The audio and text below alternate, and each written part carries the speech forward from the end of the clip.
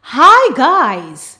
Today we will be looking at the EY sound which produces the long sound A, A.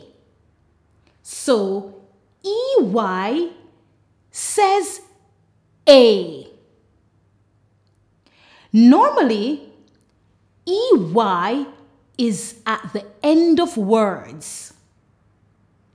Remember, EY says A, as in they. Let's go. A, hey. Gr, a, gray. A, b, a, obey. Pr, a, prey. Th, a, they. S, er, v, a, survey. W, a, whey. Con, v, a, convey. Dis, o, b, a, disobey. Now, let's look at the meanings of these words. Please remember, the meaning in this video is not limited to the meanings of the words. Hey, used to get someone's attention. Gray, a color, a mixture of black and white. Obey, following the rules or instructions given. Prey, an animal that is hunted and killed for food by another animal.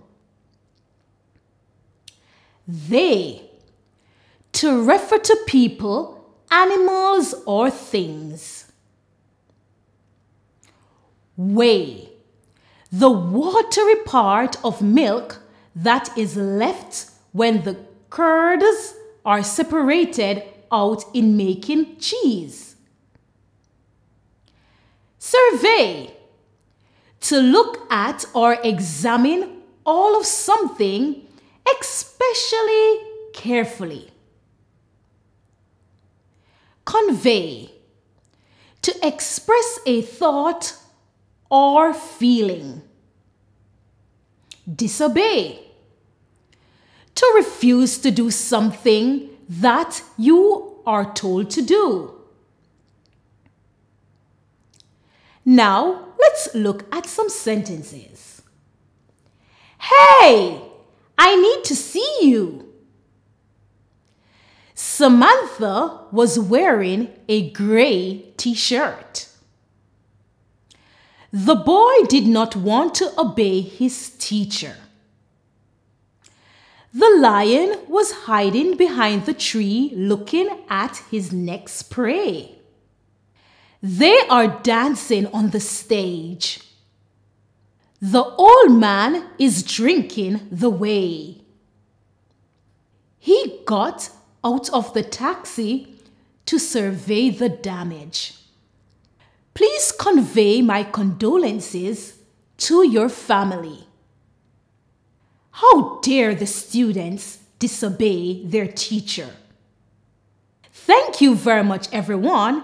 I really hope this video was helpful. Please remember, you can look in the description and you will find many more videos to help you with reading and also grammar. And please don't forget to subscribe. Bye!